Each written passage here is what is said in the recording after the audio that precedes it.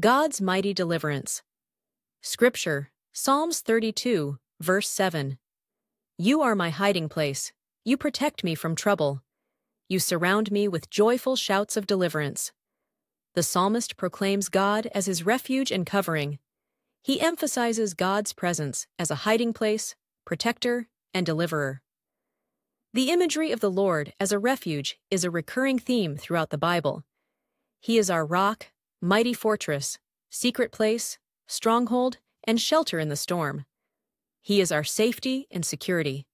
This reminds us of the comfort and direction found in God's presence. What about you? Is this your reality? Have you made the Lord your refuge, protector, deliverer, and strength? Acts of the Apostles 4 verse 12 states that there is salvation in no one else. God has given no other name under heaven by which we must be saved. So, I invite you right now to turn your worries, anxieties, and stresses over to God. Lean on His everlasting arms.